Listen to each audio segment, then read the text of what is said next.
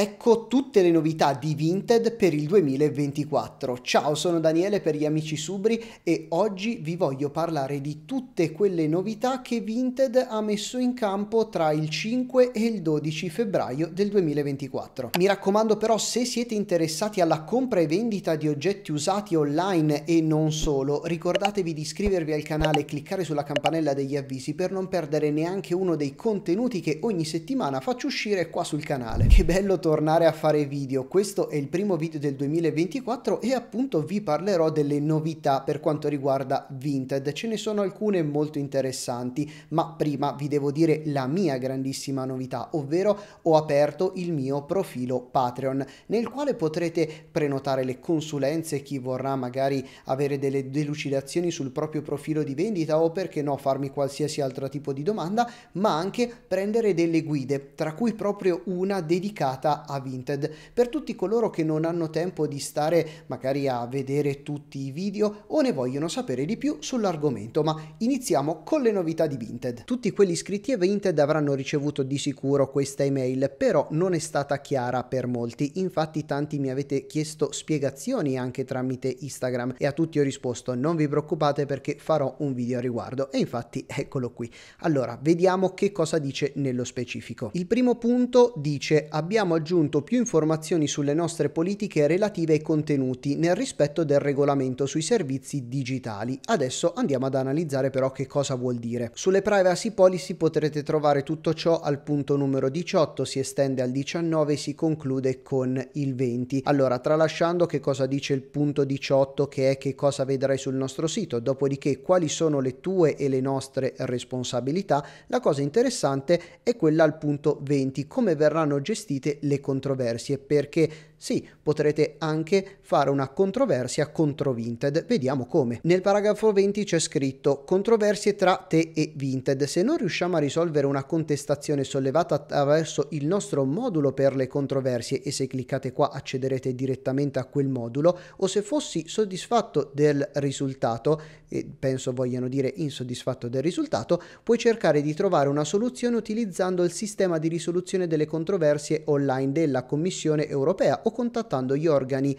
eh, nazionali di tutela dei consumatori responsabili, quindi praticamente un'associazione consumatori e via dicendo per quanto riguarda noi italiani. Cliccando sull'apposito link delle controversie, come potete vedere, potrete innanzitutto selezionare l'ordine, ad esempio, dopodiché caricare le foto e descrivere il problema. Tutto ciò, se per caso non vi soddisfa quello che praticamente Vinted ha deciso e capita spesso, e come si può vedere non è che si può fare granché, nel senso Vinted consiglia di contattare associazioni consumatori senza magari metterci di mezzo l'avvocato e via dicendo per fare praticamente un'azione legale contro la decisione della piattaforma. Il secondo punto riguarda l'età degli utenti. Qua c'è scritto abbiamo semplificato le regole sulle limitazioni dell'età degli utenti. Mm, a dire la verità no, io non ho trovato nulla in merito, c'è sempre solo scritto che i minori di 18 anni non possono vendere acquistare acquistare su Vinted. Il terzo punto forse è il più interessante perché parla di rimborsi. Infatti c'è scritto abbiamo chiarito alcune regole in merito alla spedizione e al rimborso delle spese. Inoltre a partire da aprile 2024, quindi tra poco, sarà possibile restituire i singoli articoli di un set, ma vediamo nello specifico che cosa intende Vinted. Trovate tutto nel punto 14 che per l'appunto riguarda la protezione degli acquisti. Allora salto tutta la prima parte che se volete vi leggete mentre molto interessante la tabella. Che tipo di rimborso puoi ottenere? Puoi ottenere il rimborso di alcuni costi sostenuti come descrizione nella tabella qui di seguito. Andiamola a leggere. Se acquistate un singolo articolo presente sulla piattaforma, nulla di diverso rispetto a prima. Commissioni per la protezione acquisti vengono restituite, il prezzo dell'articolo pure, il costo della verifica articolo anche, il costo della spedizione prepagata pure, il costo di spedizione di reso. Se paghi la spedizione del reso i costi relativi saranno detratti dal rimborso. Se il pacco viene smarrito o danneggiato non ti saranno addebitati i costi di spedizione del reso, ci mancherebbe ancora. Per quanto invece riguarda i singoli articoli significativamente non conformi alla descrizione che facevano parte di un set, ma il reso non riguarda l'intero set, ricordo disponibile da aprile 2024. In questo caso quindi che cosa succede? Commissione per la protezione acquisti è un po' incasinata, praticamente spiegano che verrà ricalcolata calcolata in base a quali articoli si restituiranno. Il prezzo dell'articolo rimborso completo. Costo della verifica dell'articolo non è applicabile perché non c'è se si tratta di un set.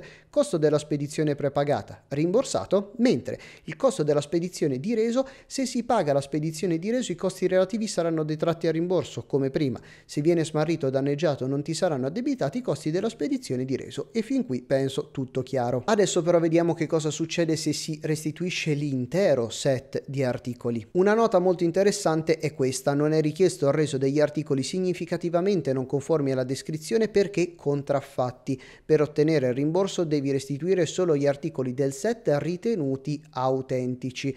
Quindi attenzione, se si compra un set e in mezzo ci sono due articoli contraffatti su 5, eh, bisogna rispedire quelli autentici direttamente al mittente. In questo caso commissione per la protezione acquisti viene rimborsato, il prezzo articolo pure, il costo della verifica non è possibile, si tratta sempre di un set, costo della spedizione prepagata anche, il costo di spedizione del reso, se paghi la spedizione del reso i costi saranno detratti dal rimborso come prima, se il pacco viene smarrito non ti saranno addebitati i costi per la spedizione del reso e questo è tutto come prima. Quindi che cosa cambia? Cambia che adesso un acquirente, qua lo dico per i venditori, non è che si trova la scusa, è eh, però qua il set non va bene, quindi è contraffatto un articolo su 10, mo mi tengo tutto e ciaone a te. No, no, no, adesso invece le cose cambiano perché bisogna restituire tutti gli altri articoli e al massimo tenersi quello contraffatto perché non dovrà essere restituito.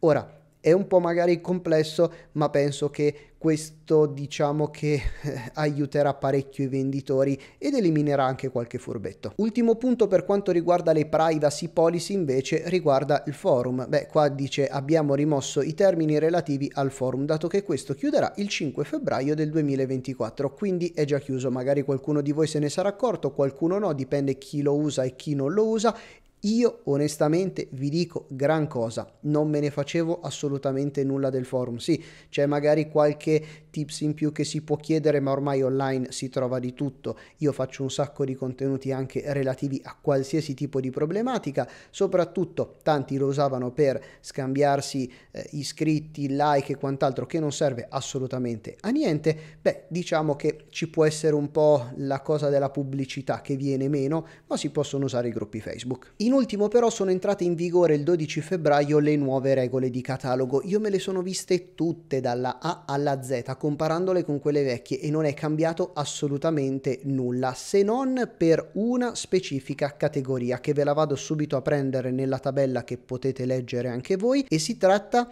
degli articoli di plastica monouso come alcune versioni di stoviglie, posate, bicchieri, cannucce, coriandoli, palloncini, decorazioni gonfiabili e quant'altro, quello che serve diciamo per una festa. Attenzione però, c'è una nota, nella categoria ricorrenza e festività sono ammessi coriandoli in plastica, stoviglie e tovaglioli monouso non utilizzate, quelle si potranno sempre vendere. Spero di avervi aggiornato al meglio con tutte le novità di Vinted per il 2024, poi magari si tireranno anche fuori qualche altra novità che ci sarà più in là, magari verso l'estate oppure autunno. Vedremo, io sarò sempre qui ad aggiornarvi. Ci vediamo prossima settimana con un nuovo video.